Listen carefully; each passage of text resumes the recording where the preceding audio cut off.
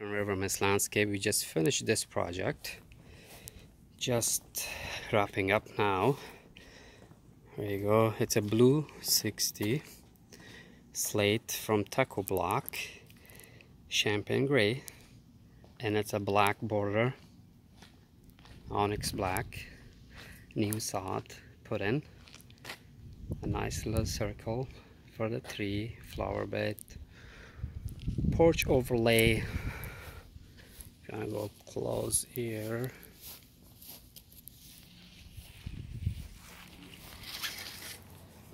Yeah, that's a porch overlay. Nice, beautiful design. Okay. Garage lip. Okay, here. Nice. Nicely done. Alright, there you go just let us know if you want a patio or a driveway.